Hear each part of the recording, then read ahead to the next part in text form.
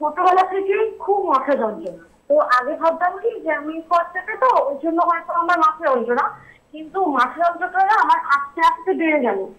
আস্তে আস্তে বেড়ে গেল তো আমার না ফার্স্টে মাথার মাঝখানটা থেকে ব্যথা শুরু করে ঘুরে ঘুরে হয় ডান দিক থেকে ঘুরে ঘুরে বাঁ দিক থেকে গিয়ে মাথার পুরো একদম মাঝখানটা আপনাকে আপনাকে একটা কথা বলি? হ্যাঁ। আমি বুঝতে পারছি রাস্তাটা সোজা গিয়ে ডান দিক গিয়ে আবার বাঁ দিক বাঁ দিক থেকে আবার ডান দিক এবং ডান দিক থেকে আবার বাঁ দিক। আপনি আমাকে বলুন আপনার যখন মাথা যন্ত্রণা হয় আপনার কি আলোর দিকে তাকাতে কষ্ট হয়?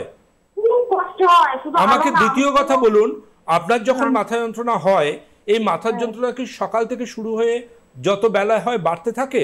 এবং হ্যাঁ ঘুমোলে রাত্রে কমে যায়? হ্যাঁ আচ্ছা আপনাকে একটা প্রশ্ন করব। হ্যাঁ আপনার গ্যাসের সমস্যা আছে খুব? হ্যাঁ হ্যাঁ হ্যাঁ। আপনি কাল সকাল এগারোটার পর আমাকে একটুখানি হোয়াটসঅ্যাপ করবেন। আপনার থেকে কয়েকটা জিনিস আমি একটু জানব। কারণ আমাকে রুল আউট করতে হবে এটা মাইগ্রেন না অন্য কোনো কারণে ব্যথা হচ্ছে? হ্যাঁ, মানে